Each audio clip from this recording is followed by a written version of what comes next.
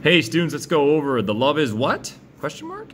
Um, basically almost the same names, it's kind of the same problem. Is over of equals percent over 100 will solve any percent problem. This time it says what percent. So we're trying to find what percent over 100 is 73.6 of 92. Look at that. Cross multiply and divide. Now, also, one thing you can do really quick, if you have the is and the of, you can just do the is over the of.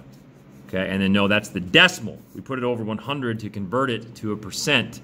But if you know how to convert decimals to percents, then that's going to be pretty easy for you. So 73.6 divided by 92 is 0.8.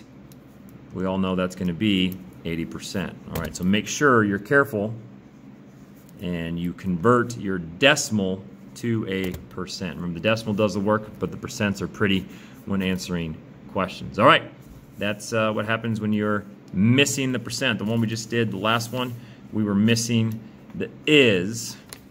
This time we're missing the percent. I'm guessing the next one we're going to miss the of. We'll see what happens.